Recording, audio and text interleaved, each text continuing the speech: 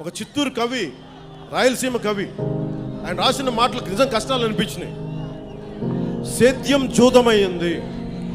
సేద్యం జూదమైంది.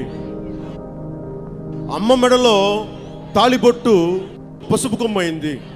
చెల్లి చెవుల్లో ఉండే కమ్మలు జొన్న బెండులైనవి తమ్ముడు బడికెళ్ళడం మానేసి ఇటుక బట్టీలో కాలిని ఇటుకయ్యాడు నువ్వేమో హోటల్లో ఎంగిలాకు పోయినావు దేశానికి పట్టెడు అన్నం పెట్టే మీ తాత బస్ స్టాండ్లో బిచ్చగాడయ్యాడు. నిజంగా దుస్థితి ఎలా ఉంది అంటే భూములు మనకి ఇచ్చేసిన స్టీల్ ప్లాంట్ వాళ్ళు దేవాలయాల్లో అన్నం తింటుంటే నాకు కవి రాసిన మాటలు గుర్తొచ్చినాయి నాకు.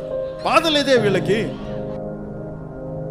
ఆస్తుల మీద ఉన్నంత ఇంట్రెస్ట్ సమస్యల మీద ప్రజా సమస్యల మీద నిలబడాలన్న ఆలోచన లేదు వీళ్ళకి.